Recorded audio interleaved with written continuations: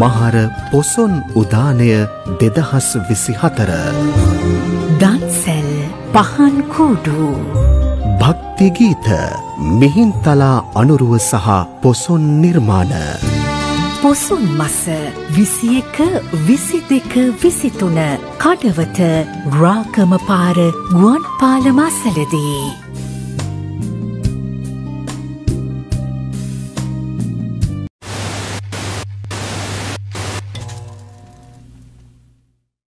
අයිබෝන් සුබ උදෑසනක් අද දෙදස් විසි හතරේ ජූනි මාසේ විසිවනි බ්‍රහස්පතින්දාවේ අදත් ජාතික පුවත්පත්වල සහ සමාජ මාධ්‍ය මුල් පිටු තොරතුරු ඔබට කියන්නට සූදානම්.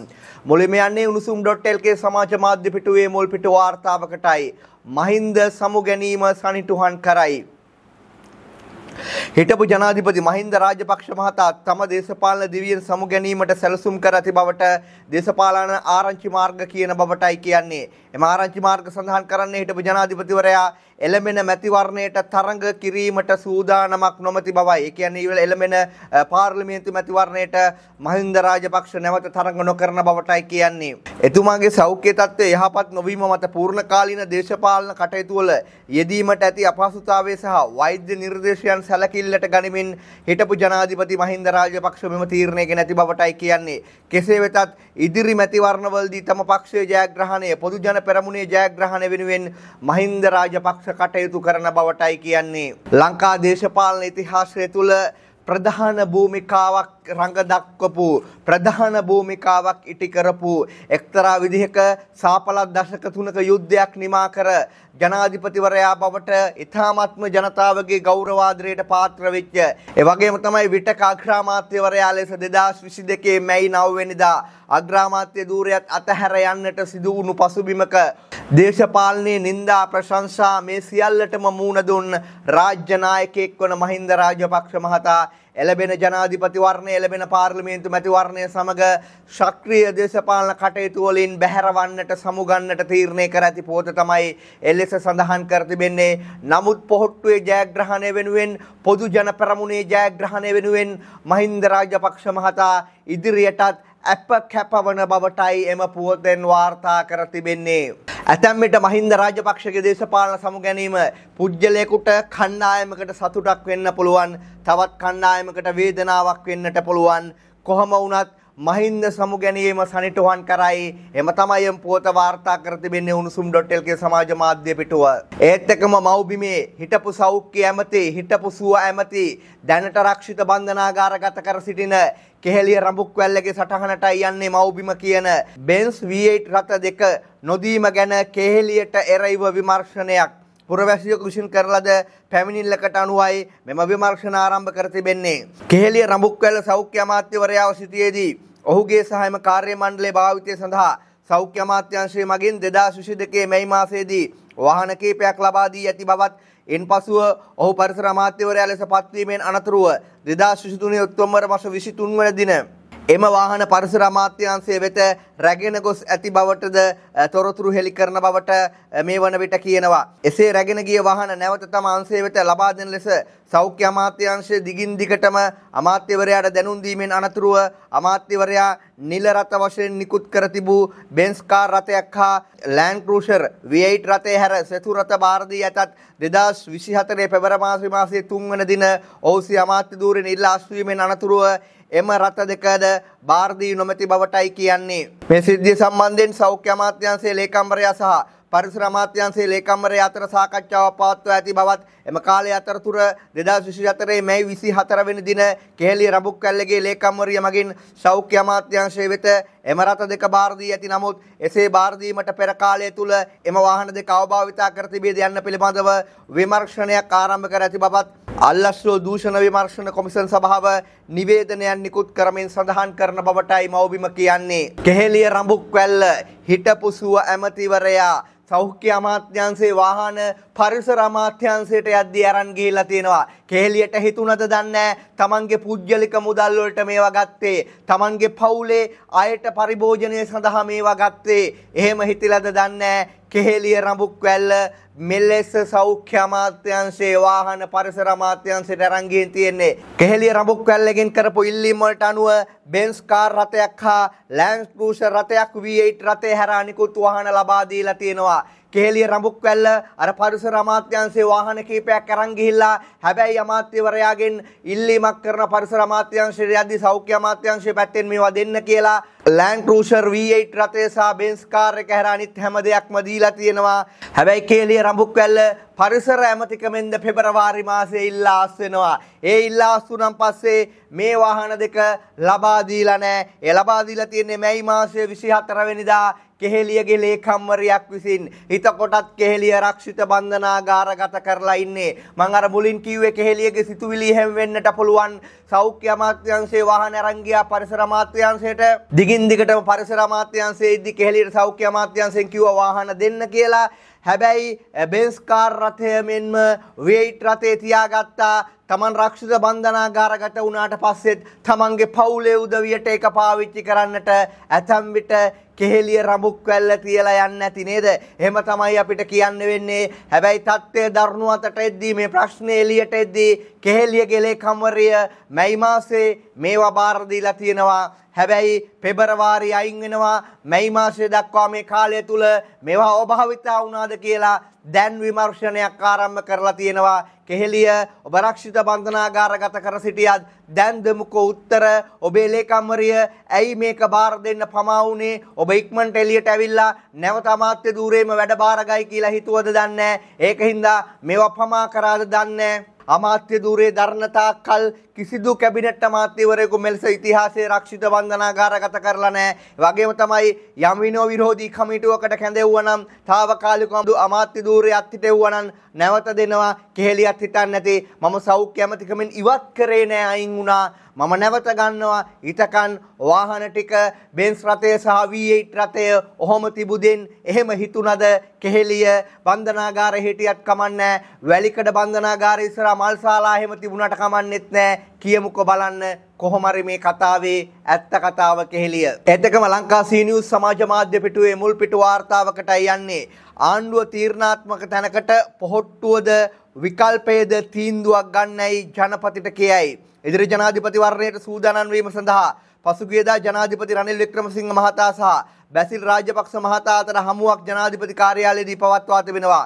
මේ සඳහා මුලින්ම බැසිල් රාජපක්ෂ මහතා සමග පමණක් සාකච්ඡාවක් පැවැත්වීමට යොදාගත් නමුත් මේ සඳහා දුමින්ද දිසානායක නිමල් සිරිපාල්ද සිල්වා යන අයද එක්ව තිබෙන අතර ශ්‍රී ලංකා නිදහස් පක්ෂයේ පිරිස මෙන්ම විකල්ප කණ්ඩායමේ පිරිසක්ද මේ සාකච්ඡාවට එක්ව තිබෙන බවටයි කියන්නේ. පොහොට්ටුව සමග කිසිම ආකාරයක සන්දානගත වීමක් සිදු නොකරන බව මෙහිදී ශ්‍රී ලංකා නිදහස් පක්ෂය හා විකල්ප කණ්ඩායම විසින් බැසිල් රාජපක්ෂ මහතාට ජනාධිපතිවරයා ඉදිරියේම දැනුම් දී ඇති බවටයි කියන්නේ. නාමල් රාජපක්ෂ පවා ජනාධිපතිවරයා සමග ගමනක් නැති බවත් ඔහු සමග සිටින්නේ පොහොට්ටුවේ ප්‍රතිපත්ති වලට විරුද්ධ පිරිසක් යයි කියද්දී නාමල්ගේ විරෝධය පසකට තබා ආණ්ඩුවට හා ජනාධිපතිවරයාට උදව් උපකාර කරන විට මෙවැනි කතාවලින් සිදුවන්නේ සිත් නොහොදවීමක් බවත් බැසිල් රාජපක්ෂ මහතා එම සාකච්ඡාවට පැමිණි වජිරාබේවර්ධනට කිව්වා කියලයි කියන්නේ. ඒ අනුව ඉදිරියේදී පොහොට්ටුවද නැතනම් ශ්‍රී ලංකා නිදහස් පක්ෂයේද විකල්ප කණ්ඩායමද යන්න ජනාධිපතිවරයාට තෝරා ගැනීමට සිදුවන බව විකල්ප කණ්ඩායමේ ප්‍රකාශකයෙකු සඳහන් කර බවටයි ලංකා සී නිවුස් කියන්නේ. ඒ කියන්නේ හදිස්සියේ බැසිල් රාජපක්ෂ සහ ජනාධිපතිවරයා අතර සාකච්ඡාවක් පවත්වන බවට බැසිල්ට දැනුම් දී ජනාධිපති ලේකම් කාර්යාලයේදී සාකච්ඡාවක් පවත්වන්නට ගොස් තිබෙනවා. හැබැයි බැසිල් දන්නේ නැහැ. එතෙන්ද දුමින්ද ඇවිල්ලා, එතෙන්ද නිමල් සිරිපාල්ද සිල්ව ඇවිල්ලා, එවැගේම අර නිමල් ලංසගේ පාර්ශවයේ පිරිසකුත් ඇවිල්ලා බැසිල්ගේ මූණටම ජනාධිපතිවරයා ඉදිරියේම කියලා තියෙනවා පිරිස පොහොට්ටුව සමග ජනාධිපතිවරයා සන්දානගත වෙන්නට යනවා නම් ශ්‍රී ලංකා නිදහස් පක්ෂයේ නිමල් සිරිපාල්ද සිල්වා ඇතුළු පිරිසගේ සහාය ජනාධිපතිවරයාට දෙන්නේ නැහැ. ජනාධිපති වික්‍රමසිංහ ඔයා තීන්දුවක් ගන්න බැසිල් එක්ක ගමනක් යනවද? ශ්‍රී ලංකා නිදහස් පක්ෂයේ නිමල් සිරිපාල ඇතුළු ඒ වගේම තමයි ලංස ඇතුළු විකල්ප පිලත් එක්ක ගමනක් යනවද?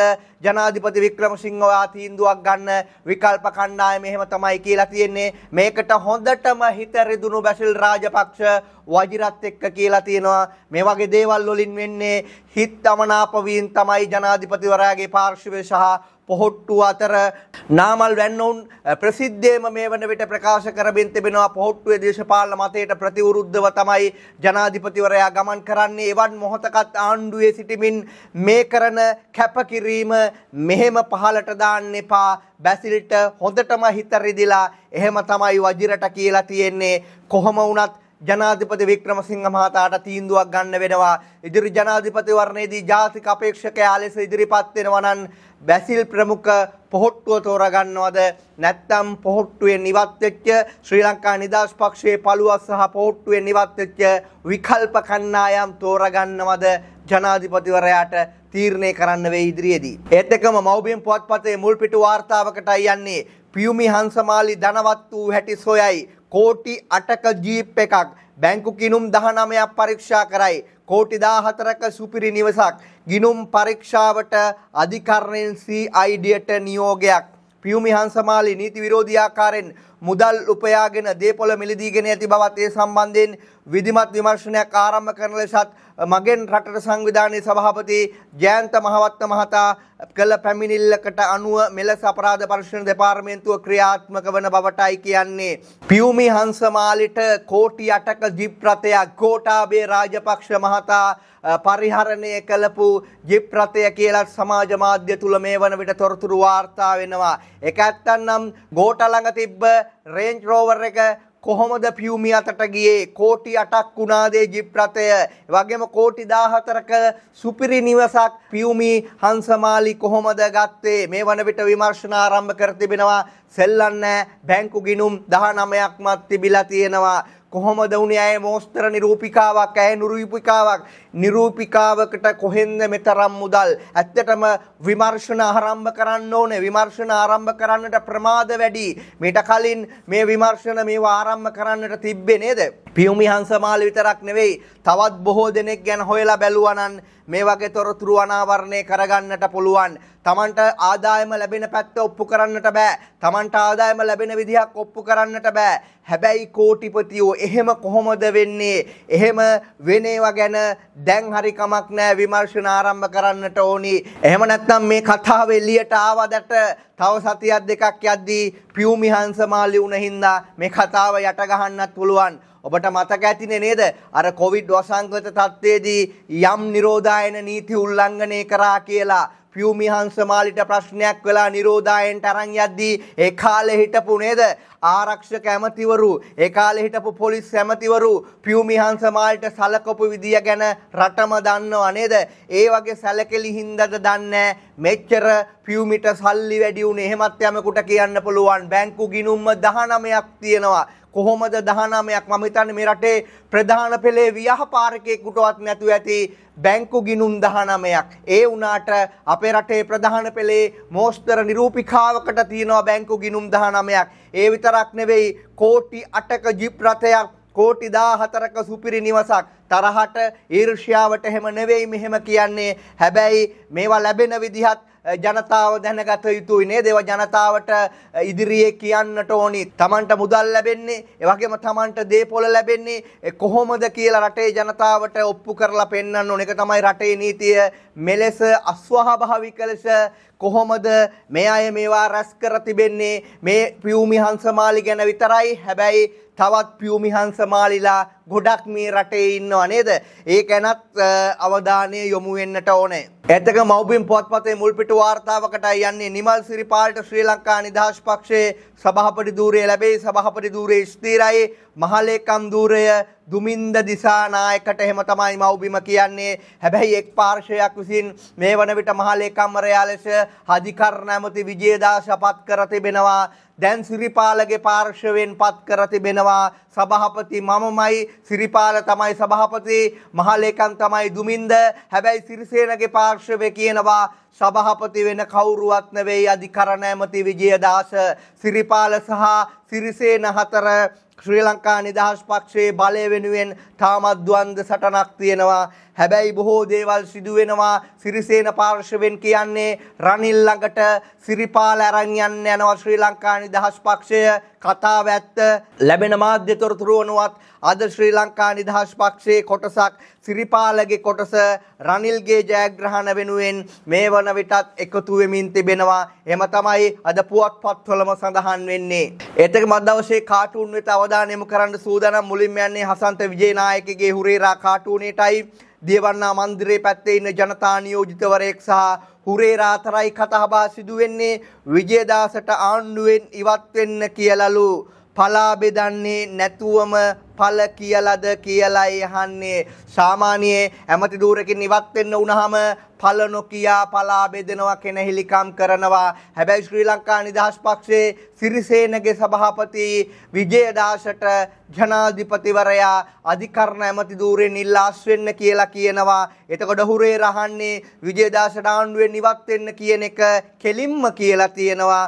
පලා බෙදන්නේ නැතුවම පළ කියලාද කියලා යහන්නෙත් එකම දවසේ පද හතරටයි යන්නේ. සිරිසේනලා සිරිපාලලා ගැනයි කියන්නේ. කොම ගැටලු විසඳෙනවලු මනාව එක් වී පෙරට යන්නයි කල්පනාව.